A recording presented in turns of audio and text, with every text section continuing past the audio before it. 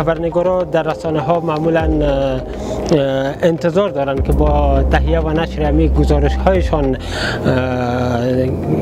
تغییر در راستای مبارزه با فساد اصلاحات و حکومت داری خوب رونما شود. اما چنان که دیده میشه حکومت از کنار از این گزارش ها به بسیار سادگی و بدون کدام توجه چندان از کنارش عبور می‌کنه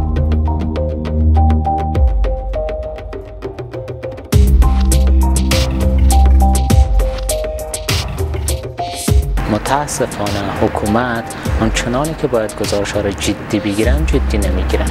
یک گزارش تحقیقی با خیلی ها زحمت و کار تهیه میشه و نشر میشه اما آب از آب تکان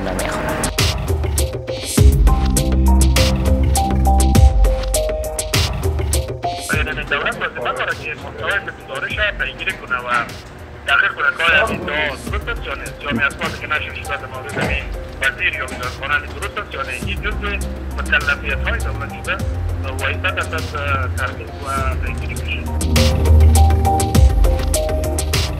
ماده 34 قانون اساسی افغانستان. آزادی بیان از تعرض مسئول است. هر افغان حق دارد فکر خود را به وسیله گفتار نوشتار تصویر و یا وسایل دیگر با رعایت احکام مندرج در این قانون اظهار نماید.